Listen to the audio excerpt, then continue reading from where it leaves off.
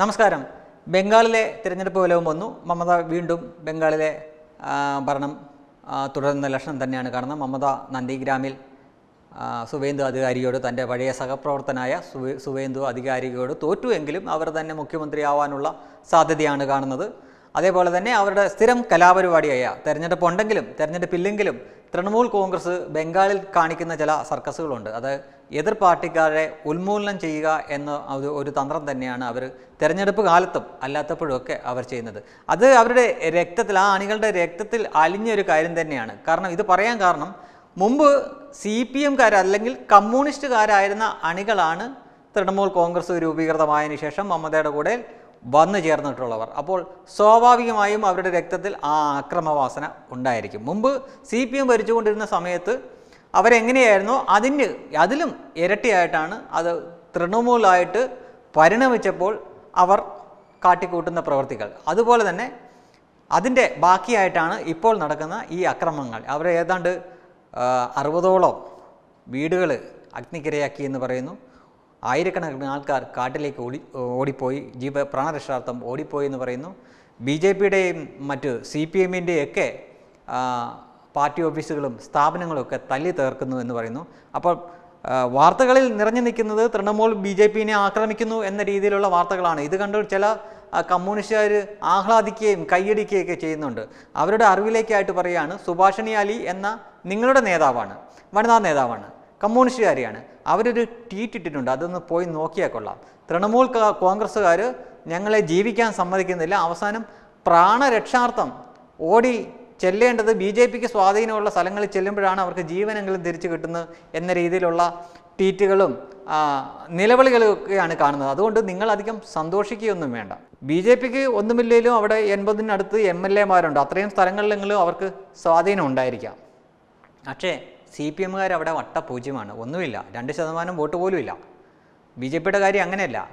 പൊരുതിയെങ്കിലും നിൽക്കും അവരോട്.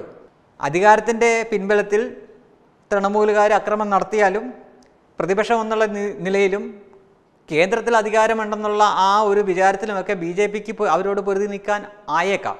പക്ഷേ സി പി എമ്മിന്റെ അവസ്ഥ അതല്ല. സി പി എം അവിടെ വട്ടപൂജ്യമാണ് അതുകൊണ്ട് തൃണമൂലുകാർ ബി ജെ പിക്കാരെ തല്ലുന്നേ കൊല്ലുന്നേ എന്ന വാർത്ത കേട്ടിട്ട് ആഹ്ലാദിക്കുന്നതിന് മുമ്പ് നിങ്ങൾക്കവിടെ ബാക്കിയുള്ള അണികളുടെ അവസ്ഥ എന്താണെന്നും കൂടെ ഒന്ന് ആലോചിച്ചിട്ട് വേണം ഈ ആർപ്പോ ഇറോ വിളിക്കാൻ.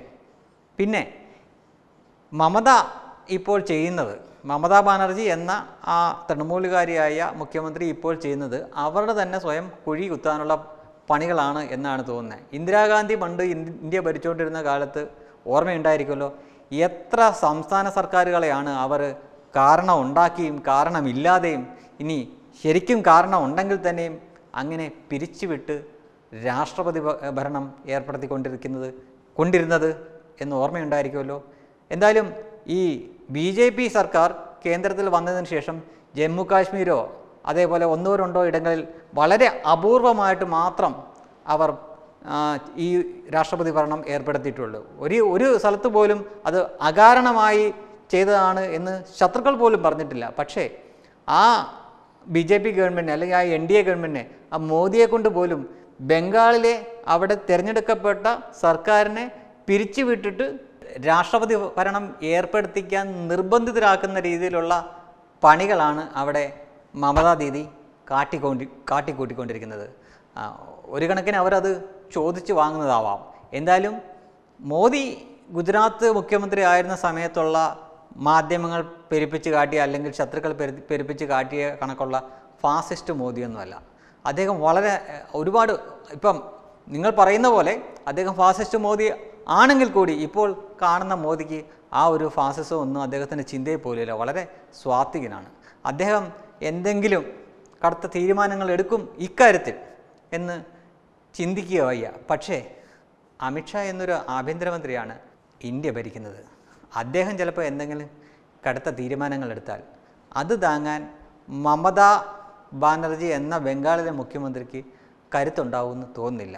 അതുകൊണ്ടാണ് ഞാൻ പറഞ്ഞത് മമത അവർ സ്വയം കുഴി തോണ്ടുകയാണെന്ന്. പിന്നെ സി പി എമ്മുകാർ കേരളത്തിൽ മാത്രം ബാക്കിയായ ഇന്ത്യയിൽ കേരളത്തിൽ മാത്രം എന്തെങ്കിലും ഉണ്ടു എന്ന് പറയത്തക്ക രീതിയിൽ ബാക്കിയായ സി പി എംകാർ ഇതൊന്നും കൊണ്ട് ആഹ്ലാദിക്കേണ്ട.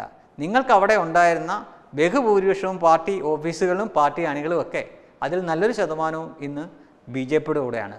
ബാക്കിയുള്ളവർ തൃണമൂലും. നിങ്ങളവിടെ തികച്ചും വംശനാശം വന്നു കഴിഞ്ഞു വെബ് ഡെസ്ക് തത്വമൈ